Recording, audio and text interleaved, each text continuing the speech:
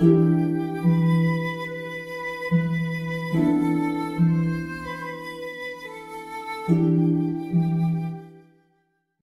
remember once hearing that after the crucifixion of Jesus, it's the Annunciation of his birth that is the second most frequently depicted scene in the entire history of Christian art.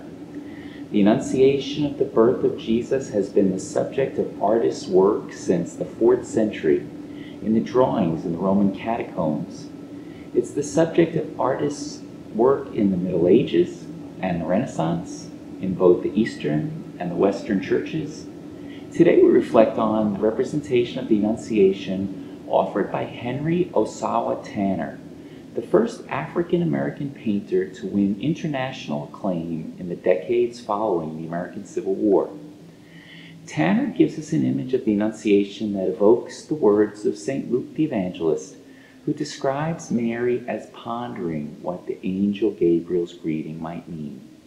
But in Tanner's version of the Annunciation, we don't actually see an angel. We see Mary looking at a light, but no winged creature holding a lily or carrying a scroll with a message, as we might see in the art of other ages. We don't even see a halo on Mary to designate her as a saint.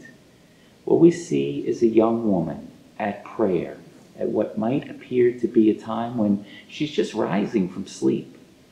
In place of the winged angel, we see light. And if we look closely, we see the beam of light intersects with a shelf, giving us an image of a cross.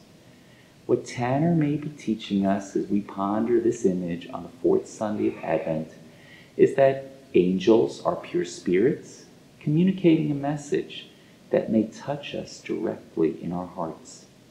The message comes from and leads us back to the Lord of light, Jesus Christ, who calls us to share in his glory but only if we're willing to pick up our cross and follow him. As we meditate on Tanner's beautiful image of Our Lady, we pray, Hail Mary, full of grace, pray for us sinners now and at the hour of our death. Amen.